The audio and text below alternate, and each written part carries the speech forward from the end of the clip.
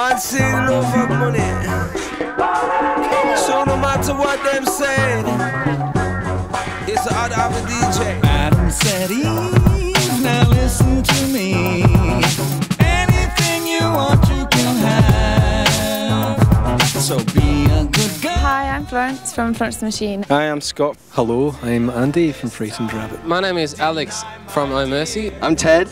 I'm Winston. And welcome to Laneway.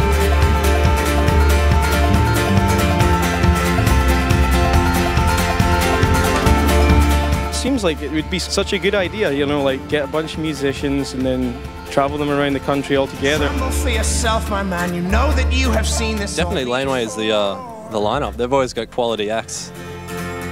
Now learn from your mother. Everyone's relaxed, everyone's here for a good time just to see not the most popular bands, but just medium sized bands that play good music. Not your fault, but mine. Every single year they brought out my favourite new bands.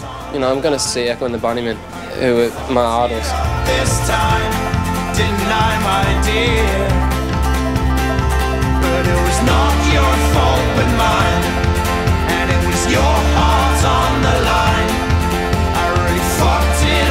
It Festival's been really, really hot, like unbelievably hot. I thought it'd be a little bit hotter, to be honest. Um, maybe I'm getting used to the heat.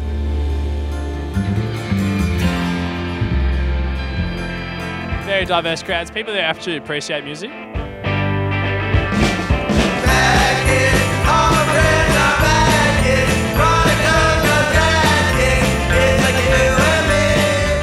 Perfect. It's set out actually. Brilliance. Like, I mean, I can't think of a better place than Sydney.